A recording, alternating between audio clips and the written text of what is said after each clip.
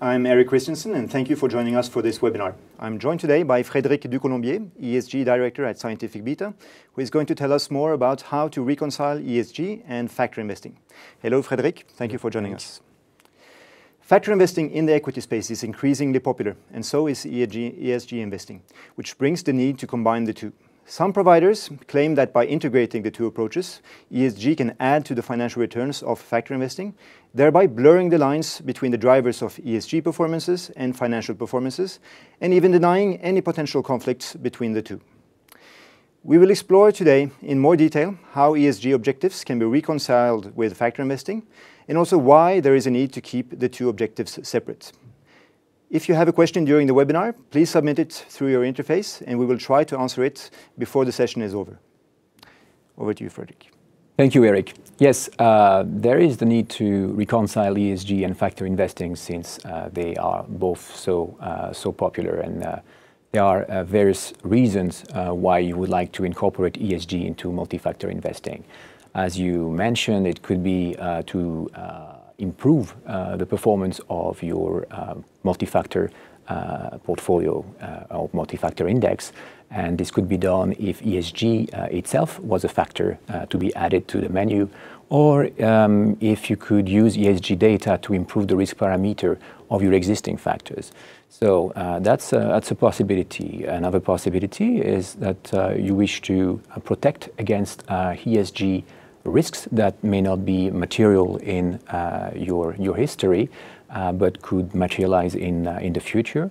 And um, you can think of reducing the exposure to reputational risk on the part of the investor. Or if you look at the portfolio, obviously, the ESG risks that could have financial materiality on the components of the portfolio. And naturally, there's the uh, traditional justification for incorporating ESG in a portfolio, um, i.e., the demands of ethical and socially responsible uh, investment. So it would be uh, dissociating from activities that are incompatible with the uh, investor values, uh, or for uh, SRI, the promotion of a, a progressive uh, ESG agenda. So um, the question of performance is, uh, is key to many uh, investors. And uh, fortunately, we have 40 years of ESG funds and indices that we can look at to determine whether there's any um, benefit or penalty from uh, incorporating ESG in management. And the result of 40 years of uh, studies uh, are that there is no such benefit or penalty. The performance is uh, undistinguishable from traditional uh, funds. Uh, so, of course, you can uh, look beyond what people have been doing and try and find uh, strategies that uh, use ESG data. So, you look at simulated portfolios and see if there could be an ESG factor built from, uh, from this portfolio? Well, there's been uh, an abundant, large amount of studies trying to create an ESG and test an ESG portfolio, and the result is that there is no significant support from a non-redundant ESG factor, a factor that would add to the existing factors that uh, investors uh, use. So um, there's still uh, hope uh, on the uh, risk estimation front. Uh, and there, there are a few exploratory studies that find that you could improve uh, the estimation of your parameters using ESG data, uh, but the benefits are of somewhat limited importance, so nothing major there. So, based on these 40 years of results, how do you incorporate ESG into your multi-factor indices? Well, since the uh, evidence um, saying that you should uh, change your multi-factor portfolio construction uh, approach is underwhelming, uh, we keep it as it is and we incorporate ESG considerations uh, by exclusionary screening as a first step. Then we build the portfolio on the screen universe. So that means that there is no compensation between ESG and financial considerations. Uh, the exclusions that we perform are determined only by uh, the ESG characteristics of securities. And uh, we do so as well uh, without allowing any compensation between constituents, Uh, that means the low performance of some constituents cannot be uh, offset by the high performance of other constituents, which happens when you are targeting an average performance, as some providers do. And uh, we do not allow compensation across ESG screens. We uh, require that AV constituent pass each of the ESG screens independently. So this allows us to have um, strategies that uh, strictly respect the uh, ethical and SRI uh, constraints uh, that have a very conservative treatment of uh, ESG uh, risk. We don't assume that this can be averaged. And this is a very transparent approach as well that sends some very clear signals to the divested companies and the stakeholders. The next step is to uh, build the uh, multi-factor uh, index on the screened uh, universe. And within the screened universe, the ESG considerations are not entering uh, into the uh, factor-based security selections, which are aiming to assume rewarded risks for, for performance. And the ESG considerations are not driving the constituent weighting uh, either. So uh, this remains focused on the diversification of idiosyncratic risks. So the idea is that we are protecting these uh, sources of uh, returns in multi-factor investing that have been scientifically validated over the last 50 years. Okay. Scientific Beta has added an ESG option to its uh, fiduciary risk controls. What is the purpose and what are the features of this option? Yes, thank you, Eric. Well, the idea of the fiduciary option is to be available across the entire multi-factor offering, and it can be combined with uh, other risk control options such as the sector neutrality or the market beta adjustment, for example. And uh, what it does, it, it provides investors with versions of the multi-factor indices that uh, they are familiar with that uh, incorporate ESG dimensions in respect of uh, concerns that uh, enjoy very wide consensus and using an approach that is also very consensual. This approach is uh, negative screening. That's the oldest and most practiced, most transparent ESG incorporation approach. And uh, we anchor our exclusions on global norms and widely shared investor concerns to avoid any um, issue with, with values. The themes of the uh, ESG fiduciary uh, option are controversial weapons, tobacco, coal, uh, violation of fundamental norms, and uh, shareholder rights. And uh, these correspond to issues for which global norms uh, exist. And we either um, exclude because a company is in con contravention of a global norm or uh, when its product is at odds with the norm itself. For example, uh, as far as uh, tobacco uh, is concerned, there is nothing uh, preventing uh, companies from selling tobaccos or producing tobaccos, but these activities are at odds with the World Health Organization Framework Convention on Tobacco Control, whose objective is to dramatically reduce the prevalence of tobacco. So we exclude companies that are uh, producing tobacco or uh, distributing tobacco when this uh, is a significant share of their of their revenues. Likewise, uh, it's not uh, forbidden to uh, extract, deal coal or even burn coal, Uh, but uh, we know that uh, to respect the objectives of the Paris Agreement, coal consumption has to be reduced dramatically in the next 30 years. So there we exclude coal companies and companies with large uh, coal involvement uh, out of respect uh, for this global norm, um, the Paris, Paris Agreement. The second conduct-based exclusion that we perform is in respect of corporate governance and specifically shareholders' rights. Uh, in reference to the OECD principles of uh, corporate governance that recognize um, voting rights as a core shareholder right, we exclude companies that uh, do not provide public uh, stockholders with uh, voting rights. Uh, this is backed by uh, significant uh, engagement efforts on the part of investors that have approached regulators and index providers to try and crack down on companies that do not respect the proportionality uh, between the capital provided and the voting rights. So we only concentrate on those extreme cases, those companies that completely uh, deny uh, voting rights to public shareholders and uh, as a result are not accountable to the public and the shareholders. Um, and well, you know, when you are thinking of ESG matters, well, engagement of such companies is futile, obviously. So um, this um, ESG option is appropriate for uh, a cross-section of uh, investors, um, investors with different uh, motives. It's relevant for value-based investors uh, who care about uh, dissociating from investments that uh, fail, that flout global norms.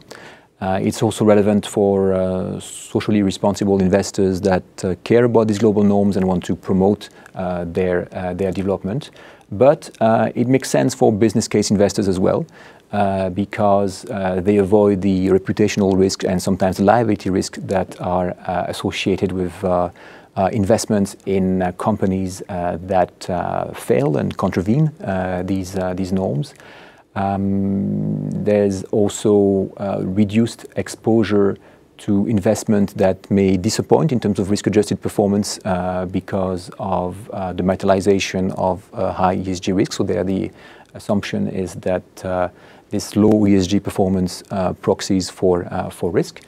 And then if you think of universal owners, uh, then uh, promoting uh, global norms is to promote promoting the reduction in the externalities that are affecting the the whole portfolio. So even though a company may benefit from flouting a norm, uh, this is harming other companies and is detrimental to uh, the portfolio. So it's possible to justify uh, the relevance of this option for value investors, for uh, SRI investors, and for traditional investors. So, in terms of uh, financial, but also in terms of ESG, what are the risks and performances of this uh, ESG fiduciary option? Yes, thank you, Eric. Let's look at the uh, ESG performance uh, first. So, uh, by virtue of negative filtering, all the controversial products and activities uh, that we were targeting uh, by, with the filters uh, have been removed at the thresholds that we, we defined. So uh, what you see in the table is, uh, well, uh, zeros everywhere in the ESG options. These controversial securities have been removed from the universe and therefore they've been removed from the indices as well.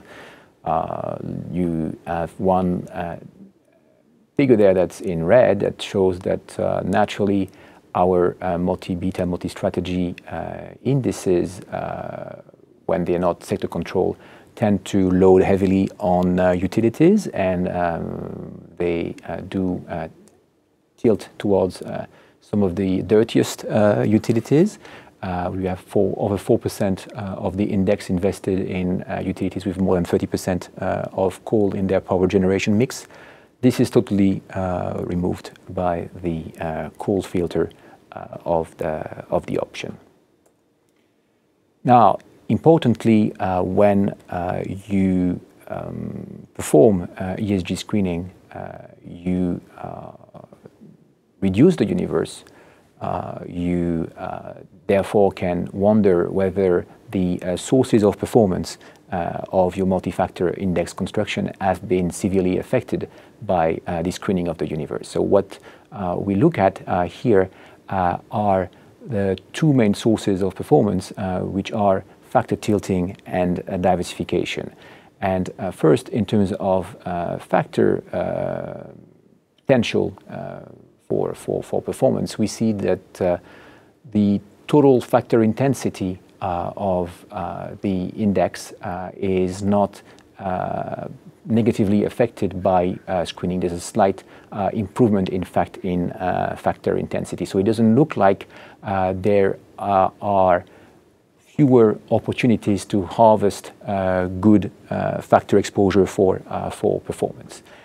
Now, uh, if you look at the uh, GLR uh, measure, which measure, measures uh, the uh, quality of diversification of the index by comparing the uh, variance of the index to the average variance of the constituents of the index, you see that, well, the um, standard index has significantly lower Uh, GLR measure than the cap weighted index, showing that uh, it is uh, diversifying better than cap weighting of constituents. And if you look at the ESG option, well, you see no significant difference, and even for the standard index, a slight improvement in in diversification. So there's no diversification penalty that is felt, even though you have a smaller universe. Our um, weighting schemes uh, that uh, use scientific diversification are still able to find uh, opportunities to reduce the risk of the index. So the traditional sources of performance of multi-factor investing, smart multi-factor investing, have been preserved here. So when you look at the results, we see that the performances of standard and ESG fiduciary options Uh, are broadly in line over uh, 10 years. Um, altogether, uh, there is an outperformance of over 2% per annum over 10 years for the standard non-sector controlled version of these indices, with or without ESG option, and well, slightly less than 2% for the sector controlled versions of, of, the, of the indices.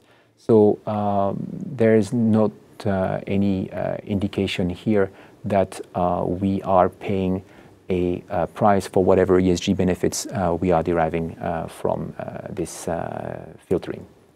To summarize the points of this discussion, support is lacking to justify ESG integration into multi-factor portfolio construction, at least on the strength of uh, traditional risk and performance uh, characteristics. But it still makes sense uh, to incorporate ESG if you want to address hedge ESG risks that may have some potential materiality in in the future, or if you need to pursue ethical or socially responsible goals.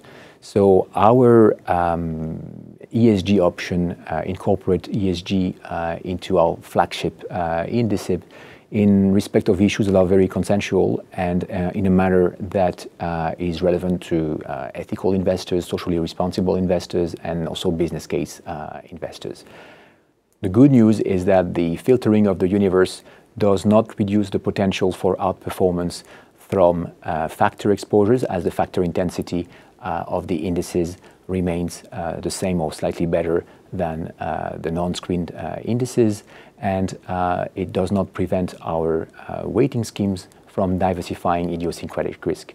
So the traditional sources of performance of our smart multi-factor portfolio construction are preserved, and we observed that over the last 10 years, the ESG filtered indices and the regular indices perform in line. Thank you, Frédéric. Now, over to the questions. So first question: When you exclude companies, you can't engage with them. Don't you think engagement is an effective policy? Well, it's quite customary to oppose engagement uh, and divestment, uh, what people call voice uh, versus exit, but I think it's a false opposition. An investor can exit with voice, can exit and make its voice heard, and that sends a very powerful signal to the affected company. Um, it's also possible to retain your voice even after you exited, um, or to have a voice even if you're not invested. I mean, you have all these uh, NGOs uh, out there that have very strong voices, very strong influence on on companies and the public, uh, without ever being invested in any significant way. So an investor that can decide to enter or re-enter the capital of a company as an additional dimension Uh, of uh, leverage uh, on on that company. So I, no, I don't think you can really oppose those two things. Um, in addition, engagement is futile when there is no other outcome that would be acceptable to the investor than the company ceasing operations. Think of tobacco, for example. What is there to engage there? So there's a there's a room for divestment for sure. Last but not least, divestment brings teeth to uh, engagement policies. The possibility of divestment is a powerful tool in the hands of the investor that's trying to influence uh, the company. But for this tool to remain effective, it has to be used from time to time. Uh, so uh, otherwise, engagement will lead to uh, to nowhere. And um, of course, the performance of engagement uh, strategies is hard to measure, and there's also the risk of reverse influence in engagement with the company uh, being influencing the uh, the uh, the investor and. It's also possible to claim you are doing engagement to do business as usual. It's very good cover for, for greenwashing. So you have room for both investment and engagement and divestment. And um, I think it's, it's sound to have both on the table. Okay, thank you. So, second question. You didn't show any ESG scores in your presentation. Why don't you report an average ESG score for your portfolios? Yes, uh, we do not report average uh, ESG scores uh, because we do not consider that they are informative. On an ESG performance level, an average score means that you can offset the weaknesses of some companies with the strengths of other companies.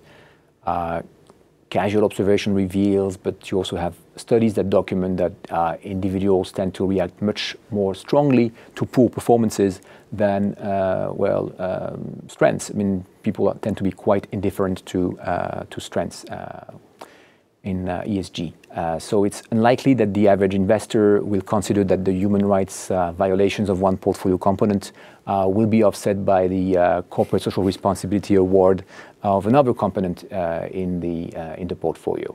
Uh, naturally, for investors that follow a deontological approach, that is uh, just an insult. Uh, it's obscene to, to think about this. Uh, but even for a business as usual uh, investor, uh, the mere assumption of controversy risk aversion invalidates this idea that you can offset company strengths and, and, weaknesses. So this, at the performance level, it doesn't mean it doesn't mean much. So we don't report this. It could be it could be mis mis misleading. Now, um, if you regard these uh, constituent level uh, ESG ratings as proxies for risk, then when you use an average, uh, in, that's what you do when you report, um, or even worse, when you use the average to select your companies, uh, you assume that there is a linear relationship between the rating and uh, risk. So uh, this is not a conservative assumption. Uh, what uh, we do is we exclude the companies with the low performances or the high uh, risks, and we assume that these may be disproportionately at, at, at risk. So we are conservative here. So that's the reason why um, these are the reasons why we uh, do not include uh, average uh, ESG rating at the portfolio level in our reporting, and we don't consider this in our index construction either. Okay, thank you, Frederick. So, to sum it up, we believe ESG investing is also, and perhaps foremost, about favoring positive ESG outcomes. But as you said earlier, the good news is that ESG investing can be reconciled with factor investing without losing any of its benefits. For more thoughts and detail on the topic, please consult our white paper, which is available on our website, scientificbeta.com. Feel free also to send more questions to webinar at scientificbeta.com. Lastly, please follow us on social media. We are present on LinkedIn, Twitter, and YouTube. Thank you for watching today, and goodbye.